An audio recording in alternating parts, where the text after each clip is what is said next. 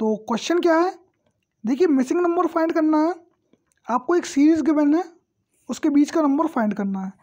तो चलिए, सबसे पहले सीरीज़ लिख लेते हैं। तो नंबर क्या है? एट्टीन है। एट्टी है sorry eighty seventy three sixty six और इसके बाद का नंबर फाइंड करना है। इसके बाद क्या है? फिफ्टी टू है। अब एक चीज़ बताइए कि एट्टी और सेवेंटी थ्री के बीच में कितने का डिफरेंस है? सेवन का डिफरेंस है। ठीक है ना? और सिक्सटी थ्री और सेवेंटी थ्री के बीच में कितने का डिफरेंस है? तो इसके बीच भी क्या है? सेवन का डिफरेंस है। ठीक है ना? अगर सेवेंटी थ्री में से क्या होगा? सिक्सटी सिक्स माइनस करेंगे तो क्या होगा? अगर तेरह में से छः जाएँगे तो कितना बचेगा?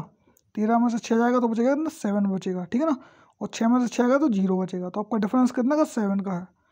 तो एक चीज़ बताइए, इधर भी क्या आएगा? इधर भी डिफरेंस कितना का आना चाहिए था? सेवन का आएगा। तो क्या होगा? सिक्सटी सिक्स में क्या होगा? कुछ नहीं, जो सिक्सटी सिक्स है ना, उसमें क्या माइनस कर दो? उसमें सेवन माइनस कर दो। तो आपका क्या जाएगा? आंसर आ जाएगा। तो कितना आएगा? देखिए, सोलह में से सात का आएँगे तो कितना बचेगा आपका? आठ, नौ, दस और नौ। तो कितना आएगा आपका? फिफ्टी नाइन क्या आ जाएगा आपका? ये आ जाएगा। तो नंबर कितना आएगा? फिफ्टी नाइन आएगा। ठीक है ना? तो जो क्वेश्चन मार्क है ना, उधर क्या आएगा आपका? इधर पे क्या आएगा? फिफ्टी नाइन आएगा। ओके दोस्तों, अगर फिफ्टी नाइन में से क्या होगा? इन, अब देखिए, फिफ्टी नाइन में से इनके बीच में कितना डिफरेंस है? इनके बीच में भी कितना? सेवन का डिफरेंस है। तो आपका आंसर कितना होगा? आपका आंसर कितना होगा? फिफ्टी नाइन क्या होगा आपका? आंसर फिफ्टी नाइन आंसर होगा। ऑप्शन देख लेते हैं।